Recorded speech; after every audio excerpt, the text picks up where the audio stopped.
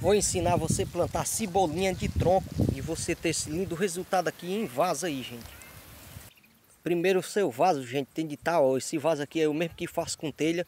Se vocês quiserem, eu trago um vídeo aí passo a passo ensinando. Primeiro tem de estar tá bem fofo, nós vamos plantar agora. Você pega a sua cebola assim, ó, você vai cortar bem aqui assim, ó, para tirar o excesso da palha e você vai limpar aqui um pouco essa raiz velha aqui, porque essa raiz velha vai atrapalhar dela crescer e desenvolver.